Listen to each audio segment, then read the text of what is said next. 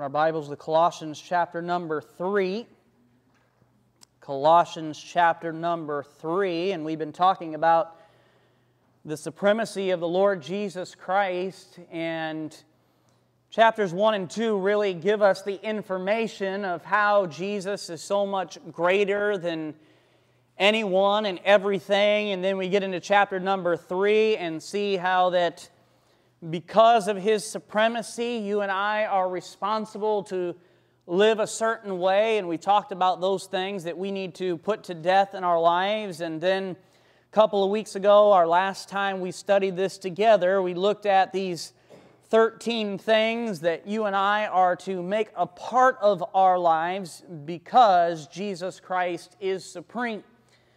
And uh, if Jesus Christ is first place in our hearts and our lives, then we will put on all these things as it talked about in verse number 12 of chapter number 3 the bowels of mercy, of kindness, humbleness of mind, meekness, long suffering, forbearing and forgiving one another, charity and peace, and all these different things. The Word of God and worship will be a part of our lives. And we get down to verse number 17, it says, And whatsoever ye do in word or deed, do, what's the next word? All in the name of the Lord Jesus, giving thanks to God and the Father by Him. So, I would say that's pretty inclusive as far as what we're supposed to do in the honor and glory of the Lord Jesus Christ. And we get down and we're going to look beginning in verse number 18 tonight. If uh, we had a title for this message, we might entitle it Roll Call, looking at the roles that we have in home and society. Verse 18 says, Wives, submit yourselves unto your own husbands as is fit in the Lord. Husbands, love your wives and be not bitter against them. Children, obey your parents in all things, for this is, the, for this is well pleasing unto the Lord. Fathers, provoke not your children to anger, lest they be discouraged. Servants, obey in all things your masters according to the flesh, not with eye service as men pleasers, but in singleness of heart, fearing God. And whatsoever ye do, do it heartily as to the Lord and not unto men, knowing that of the Lord ye shall receive the reward of the inheritance, for ye serve the Lord Christ. But he that doeth wrong shall receive for the wrong which he hath done, and there is no respect of persons. In chapter 4, verse number 1 says, Masters, give unto your servants that which is just and equal, knowing that ye also have a master in heaven. So, as we look at this portion of Scripture, end of chapter 3 and beginning of chapter number 4, I'm, you know, sometimes we have these divisions that are, are man made divisions, chapters and verses. They, they were not in the original letters that were written down. Baffles me how it got divided this way, but uh, we're going to look at these different roles that each of us have. We all have different roles in life. You have a role in your home, whether husband, wife, child. Uh, we have roles in society, whether you're a boss or you're in, in employee, you work for somebody. We have different things. We get more specific as far as, um, you know, being a pastor and a husband. And, and my, uh, my pastor in Alabama, uh, Pastor Eddie Wallace, used to like to talk about all the different hats he had to wear as a person. And, uh, you know, take this hat off and you have to put this hat on and you got this role and this different responsibility. And when we think about the different roles that each of us have, this portion of Scripture says, hey, based upon the information that we've given you about the Lord Jesus Christ, you and I are to fulfill our roles in a certain way. I think verse number 23 sums it up very well when it says, And whatsoever ye do, do it heartily as to the Lord and not unto men. Uh, we looked at verse number 17 just a second ago. Whatsoever ye do in word or deed, do all in the name of the Lord Jesus, giving thanks to God and the Father by him. So some might say, well, verse number 23 is very specifically in context referencing verse number 22 as far as servants go, so we don't really have to do the others as unto the Lord. But verse 17 comes before verse 18. It says, whatever you do in word or deed, do all in the name of the Lord Jesus. So, whatever the role I have in life, whether in home or society, in church, I'm to do it in the name of the Lord Jesus Christ. I'm to do it for Him, for His honor, and for His glory. Let's have a word of prayer as we look at these different roles and how we are to fulfill them. Our Heavenly Father, we thank you for your goodness, your mercy. We praise you that you are the all powerful Creator God, the sustainer and giver of life. Lord, we do pray that you would help us as we think about our lives. We all have a lot of different roles and responsibilities. And Lord, many of them are tough, they're stressful, it's very complicated and hard to accomplish these things, and really in our flesh it is impossible. But we're thankful that you do not expect us to fulfill these things in our flesh, but by the Spirit. And so, Lord, we ask now that the Spirit of God would come and would work in our hearts. Lord, if there's an area where we are lacking in one of these roles, I pray that you would convict us. And Lord, may we make a new commitment to fulfill the roles that you have given to us for your honor and for your glory. God, I pray that we would live our lives to do things your way for your honor and glory. In Jesus' name we pray. Amen. So, I'm going to look at these six different roles that are listed for us here and talk about how we are to fulfill them. And uh, verse number 18, it's, it's not going to be difficult for you to follow along the points and what we're going to look at. The first point has to do with wives, and wives fulfill their role through submission. And this is not a popular topic today in our society, but it's what God has ordained. So let's take a look and see what he says. In verse 18 says, "Wives, submit yourselves unto your own husbands as it is fit in the Lord." Now, that word submit, which has almost become like a curse word today in our society, means to willingly place yourself under the authority of another. And Jesus submitted to his authority uh, we find that all of us are to be in submission one to another. In other words, if there is whatever the authority is, I am to submit to it. And we all have authority in our lives. No matter how powerful we are, we have authorities that we have to submit to. You go to the highest office in the land, the President of the United States, Donald Trump, has authorities that he is to submit to. Now, we all have that choice of whether or not we're going to submit to that authority, but God has commanded and ordained that we all submit to our authority. So it's not, not a bad thing to live a life of submission. In fact, it's one as Christians that we are called to. Now, you'll notice what it says, and a lot of what we're going to cover, the Apostle Paul wrote almost the exact thing to the Ephesians. Ephesians 5 and 6 cover a lot of these things. In some places in Ephesians chapter number 6 goes into a little bit more detail. Uh, but Ephesians 5:22 says, "Wives, submit yourselves unto your own husbands as unto the Lord." So almost exactly the same wording is given, and you'll notice in both of those accounts it says, "Wives, submit yourselves unto your own husbands." So Wives are not commanded and women are not commanded to submit to all men. It doesn't say that. So, my wife, Lysandra, has been commanded by God to submit to me as her husband, not to Pastor Plinus or to anyone else. Okay, so if somebody else starts telling my wife what to do, we're, we're going to have some problems very quickly. Because it doesn't say all women submit to all men. It doesn't say wives submit to all men. And, and sometimes people take certain things out of context and they use it for abuse. And then what we want to do is we want to run the opposite direction because we're so afraid of being associated with this over here.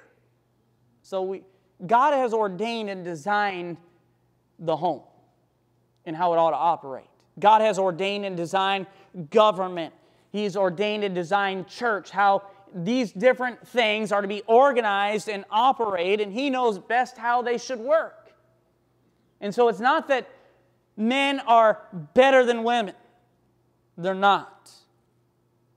Men and women were both created in the image of God, and they have equal value, equal importance. Just because they have different roles doesn't mean that one is better than the other, one is less than the other. I think of the God, Godhead. Think about God the Father, God the Son, and God the Holy Spirit is how we choose to describe them and are often portrayed in the Scripture. Three persons in one. I don't necessarily understand how all that works, and I don't need to. I don't want a God that I can completely figure out and understand. Uh, three persons in one. Now, they all have different roles. Does that mean one is more important than the other? Does it mean God the Father is more important than the Holy Spirit, or the Holy Spirit is more important than Jesus? Now, some places treat it that way, and they neglect one person or the other, and that's, that's a dangerous thing to do, and you border on the edge of blasphemy when you talk about one being more important than the other. Not more important. Different roles, same level of value and importance. And I hope that will help you to understand the relationship between husband and wife as well. Women are not inferior to men in any capacity, they were designed differently, and I'm thankful for that. And you ought to be thankful for that. I wish that our society would understand that just because we're designed differently doesn't mean one is more important than the other, doesn't mean we're saying one is less than the other. And man, this whole thing with the Boy Scouts has my blood boiling. It's ridiculous. It's crazy what's going on in our world today.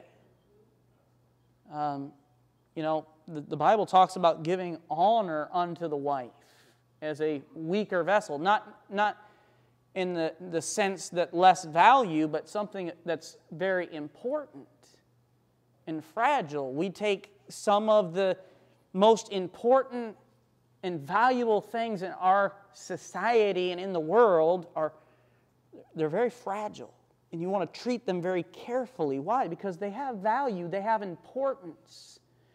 And so we want to we want you I do want you to understand that when we talk about submission. I'm not going to ignore submission just because it gets some people upset, but I also want you don't want you to misunderstand what submission is about. And so marriage as the scripture tells us is a picture of Christ's relationship with the church. Ephesians 5 23 and 24 says, For the husband is the head of, of the wife, even as Christ is the head of the church, and he is the Savior of the body.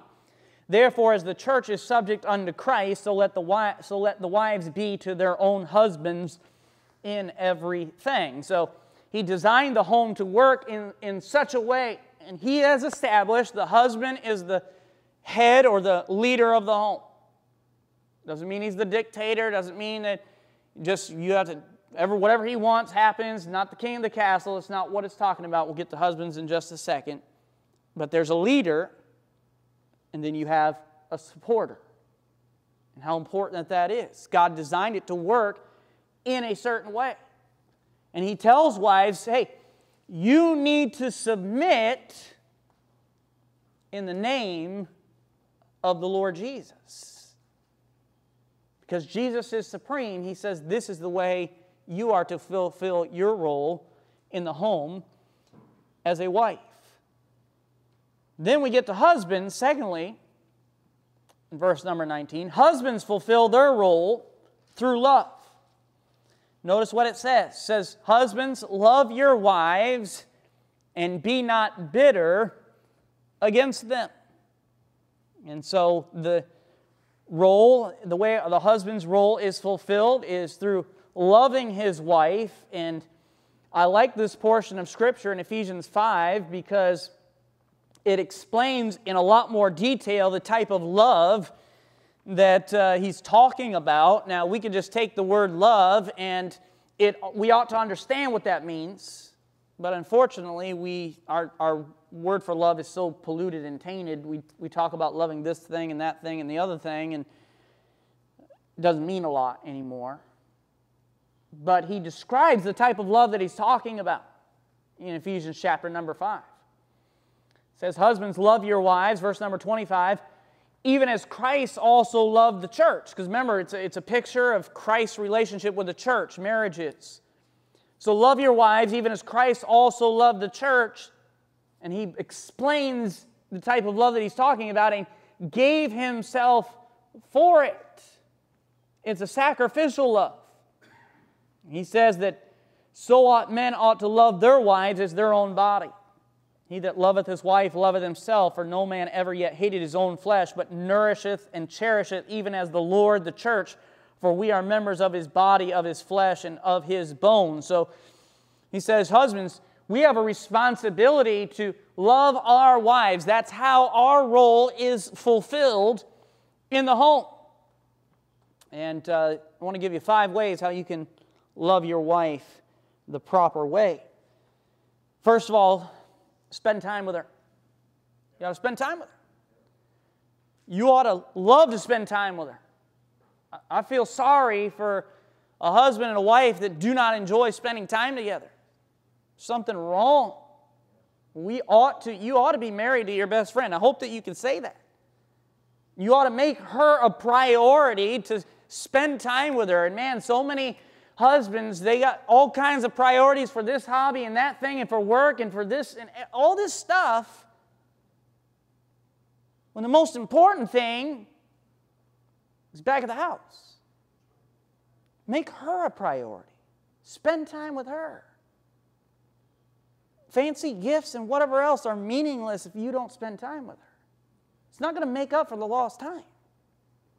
You go and spend all day out doing this and that, and you leave no time for her, but you want to come home with whatever, and I don't care what it is diamond bracelet or whatever, it's not going to be as important to her as you showing her that she's important to you by spending time with her. We make time for what's important to us. Show your wife that she's important by spending time with her. Secondly, listen to her. Listen to her. Your wife wants to pour out her heart to you. She wants you to hear her and to understand. So put the phone down, turn, have a time where the TV's off and everything else. You know, make a certain time. This is my time. You have all my focus. I want to know how your day is.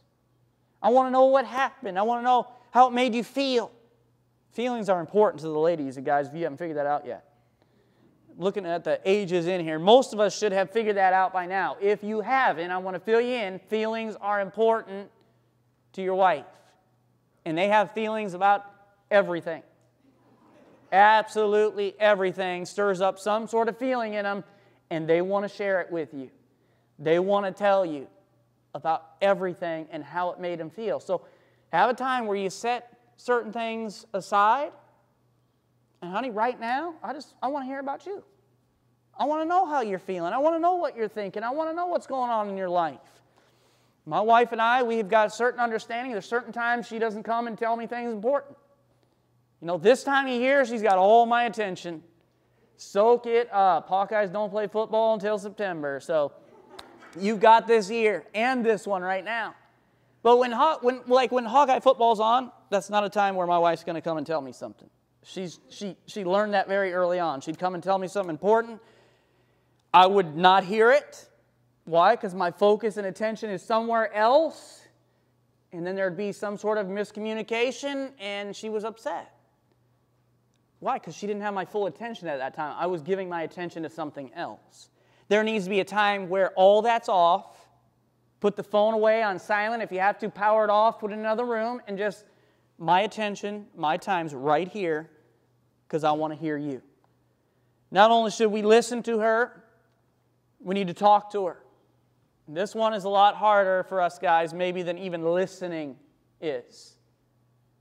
This comes because she doesn't want to just share her feelings, She wants you to share your feelings. She wants to know what you're thinking about certain things. She wants to know how things make you feel. That's, that can be tough for us to learn. But it's necessary if you're going to have the relationship that you're supposed to have. And it shows her that you love her. When you're willing to open yourself up and be vulnerable, and you ought to be able to do that with your spouse. It tells her a lot. It tells her you love her when you pour out your heart and your feelings about everything that's going on. So you need to talk to her, tell her what's going on. Fourthly, pray with her. You ought to spend time praying with your wife. You ought to have a regular time. I'm not saying necessarily every day because sometimes those things don't work, work, schedules and everything else, but at least every week you ought to have the time where you get together and spend time in prayer. There's something about praying with somebody that just unites hearts together. I mean, when you're, you hear somebody pour out their soul to God, you hear what's important to them, you hear what's valuable, you understand what they're feeling. And man, when your wife hears you praying for her, for the family, for church, for the community, for souls, and whatever else, as you both draw closer to God, it, it draws you closer to one another as well. Show your love by praying with her, and then Fifthly, we could, we could have a list go on for a long time. Lead her. Lead her. You have been created to be the leader of your home, and a wife craves that. Your wife, whether she says it or not, wants you to be the leader of your home. She wants you to fulfill your God given role and responsibility. And so you ought, to, you ought to lead spiritually. Okay, your wife should not be the one saying, it's time to go to church, or we need to go to church. She's not the one that should be saying, hey, we need to be witnessing to our neighbor, to a family member, to whatever else. She's not the one that should say, hey, man, it's been a while. Maybe we should read the Bible together. That's, that's our responsibility. As the husband, as the head of my home, I am the one you are the one who is to lead her. And when I step forth and lead like I'm supposed to, it shows my love for her. So, just a couple ideas, gentlemen, as uh, how you can love your wife better. When hu- and it's amazing how God designed the marriage relationship and the home to work because when husbands love their wives correctly, it is easier for wives to submit correctly.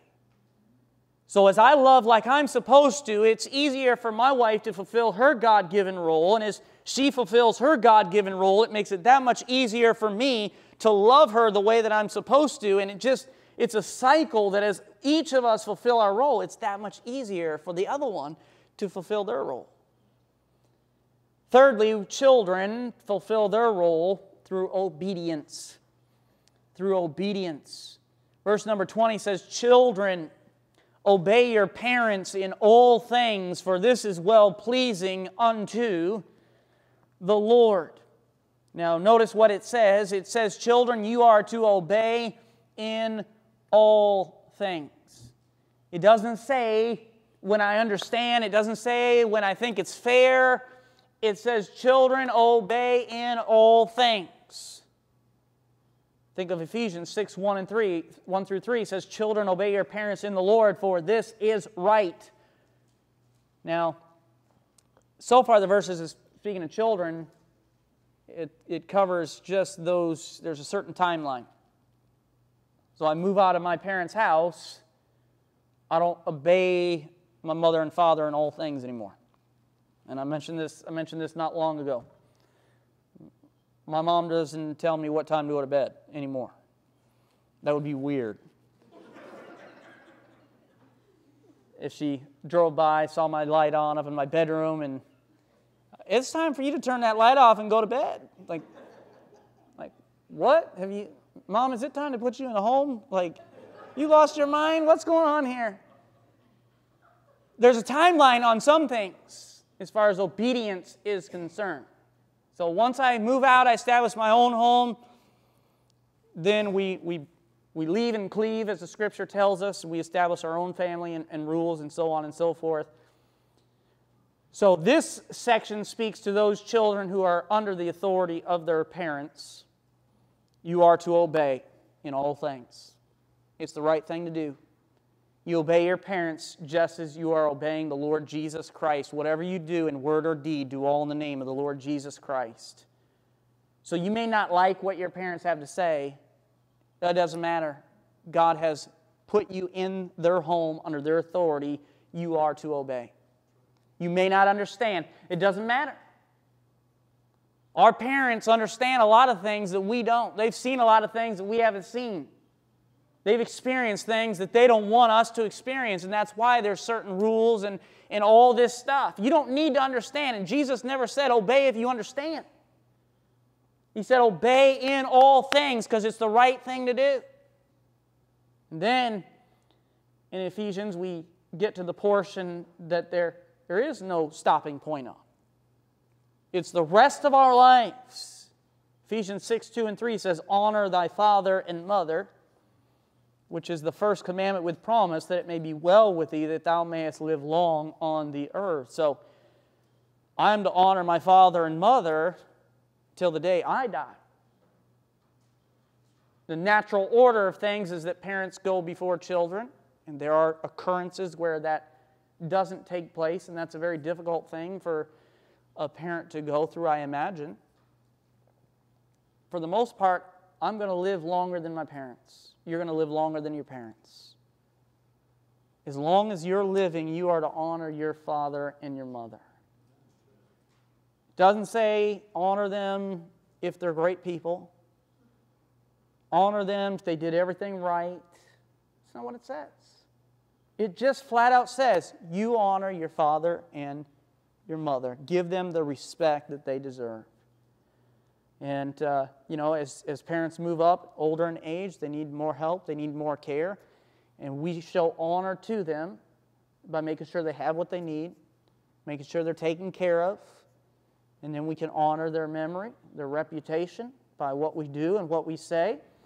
And so children fulfill their role through obedience. And, we, we covered discipline this morning in our parental guidance series, so I won't, I won't go back over all that. I did want to share uh, three things very quickly on this matter of obedience before we move on. Uh, first of all, do what you are told, as far as obedience is concerned. Do what you're told. Secondly, do it immediately. Thirdly, do it with a good attitude. Those are hard things to do.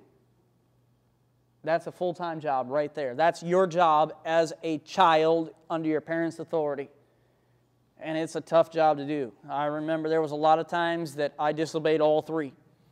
I didn't do it, I didn't do it right away, and I didn't do it with a good attitude. It's tough, it's hard, but it's the right thing to do.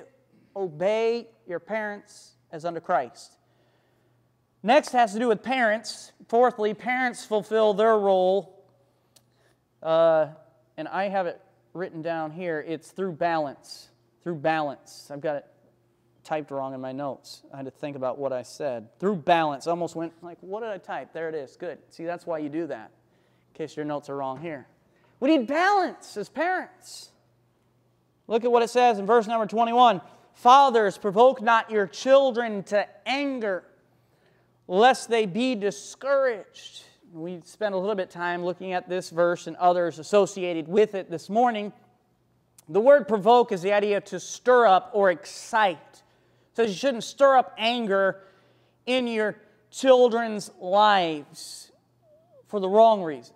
Sometimes kids get upset just because you tell them certain rules and things. That's not what it's talking about.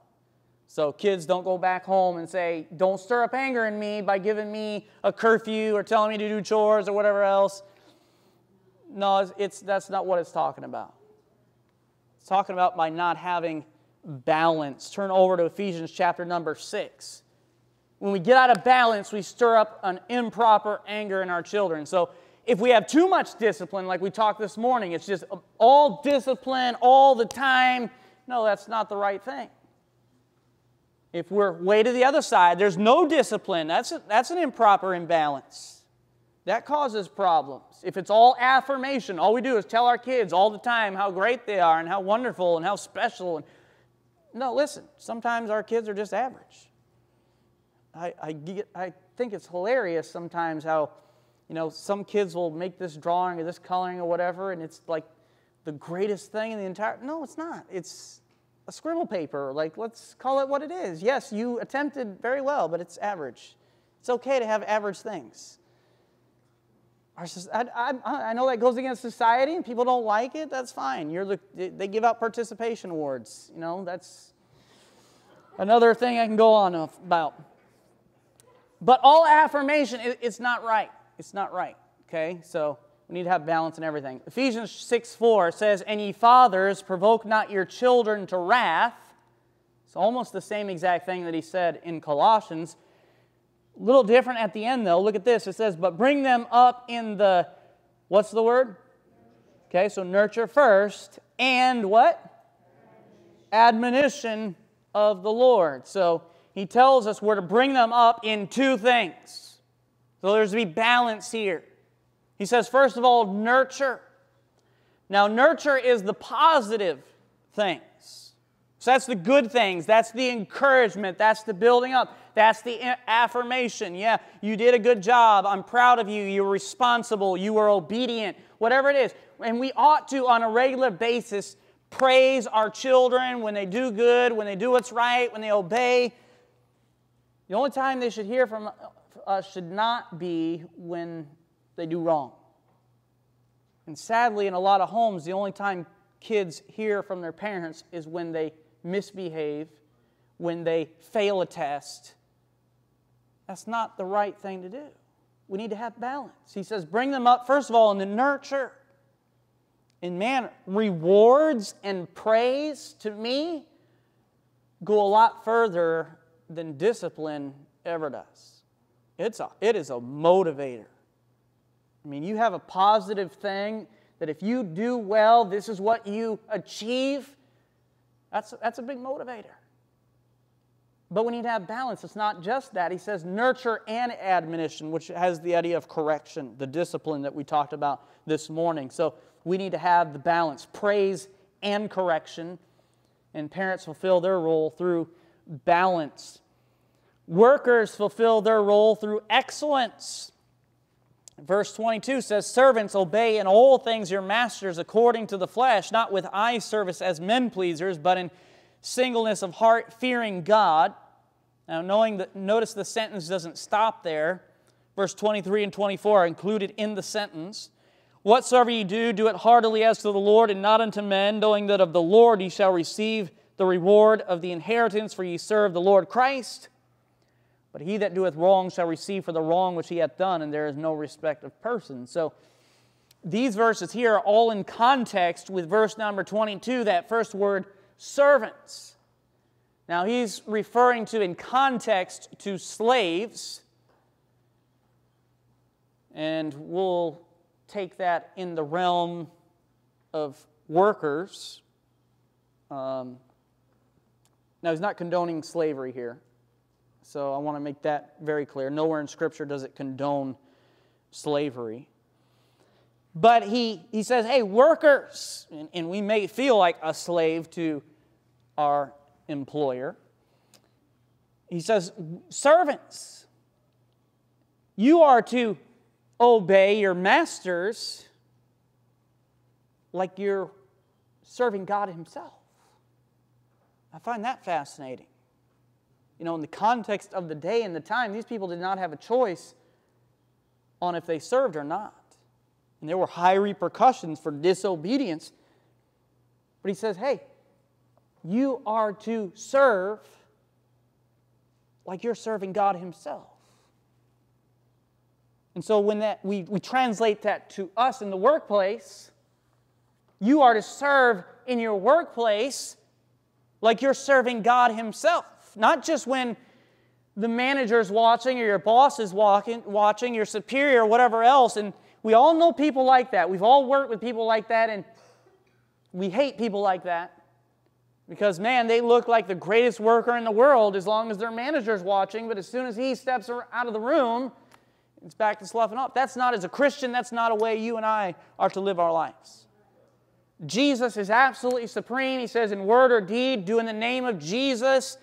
And so, whether you're an engineer or whether you change baby diapers, do all of it in the name of the Lord Jesus Christ. And he says, listen, even if you're not rewarded here, because these slaves were not rewarded for their obedience in this life, he says, God sees it.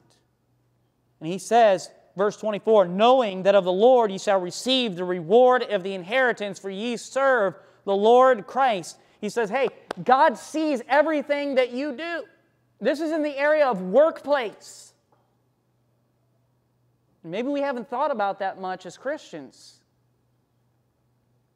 God sees what you're doing. And you're going to either get a reward or you're going to get a correction based upon how you behave in the workplace and how you perform for your employer. He says, You do well, God will reward you. If you do wrong, verse 25, you're going to receive for the wrong that you have done. And Ephesians 6 5 through 8 talks more about this as far as the servants were concerned. But you notice the law of reaping and sowing even in the workplace. You reap what you sow. You do well, you're going to receive the reward. You do wrong, you're going to receive for the wrong. And it says, There is no respect of persons, doesn't matter who you are. And then this wonderful chapter division that we have, we'll look at one verse here. Colossians 4, verse number 1 says, Bosses fulfill their role through justice. Masters, give unto your servants that which is just and equal, knowing that ye also have a master in heaven.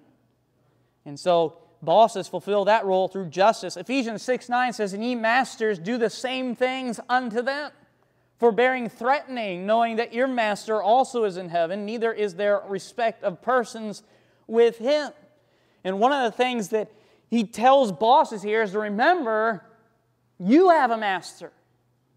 Now, our master, if we know Jesus, he says is in heaven. Some of us on this earth, we, we have a boss that we answer to day in, day out, week in, week out, and we have to obey and perform. Some of us in here, we are the boss. We're the one who calls the shots and have people working under us, and we have to lead and take care of them. And for those bosses, he says, you need to be just. You need to be fair with everybody who works under you, everybody who's under your authority, because we have a master in heaven and he is our ultimate example. And in Ephesians 6, verse number 9, in talking about the master in heaven, he says he does not respect persons. In other words, he doesn't show favoritism. Doesn't matter skin color, doesn't matter what sex you are, doesn't matter how rich or poor, education or anything. God is not a respecter of persons in any way, shape, or form. Salvation's open and available to all. Blessings open and available to all. He, he, he deals with people all the same.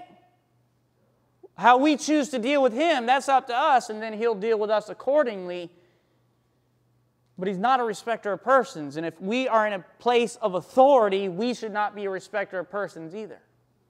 So just because we get along with somebody better than another person doesn't mean we should treat that person better than someone else in the workplace. It's not right.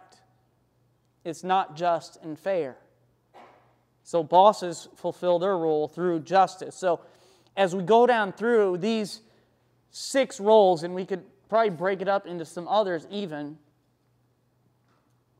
where are you at here? So, all of us are going to fall into different roles and different responsibilities. For most of us in here, we are either a child, a parent, husband, a wife. Uh, we work somewhere or we, we lead some people. We have different roles, multiples. How are we doing on fulfilling those roles? Are we wearing that hat, as Pastor Wallace used to say, and fulfilling that role like we're doing it for the Lord Jesus Christ? Or is it all about me? my own flesh, my own desires. Jesus Christ is supreme.